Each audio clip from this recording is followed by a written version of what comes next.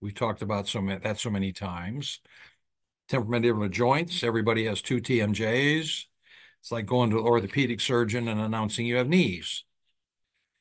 But temporomandibular joint disorder, one disorder caused by inflammation within the temporomandibular joint, creating each and every one of the symptoms, not multiple disorders, it's one disorder, uh, is poorly, poorly, poorly understood and treated by the vast, vast, vast majority of the dental profession, including dental schools, especially dental schools, and the medical profession, of which I am a member, know nothing about it other than if they suspect it, say, go see your dentist. So the patient is locked in.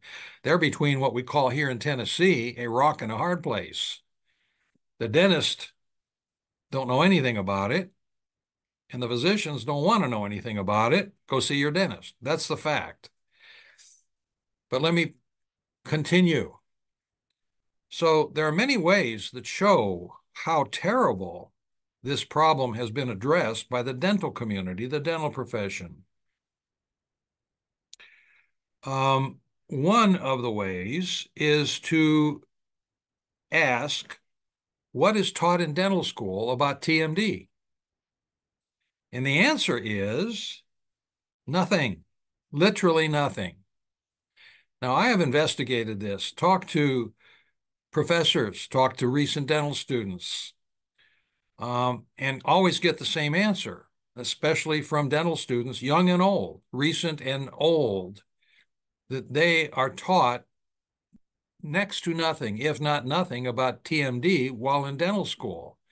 So the situation is a patient is told or thinks they need to go to their dentist to talk about I have pain in my jaw joints or I have headaches or whatever their purpose is, thinking their dentist knows something about this.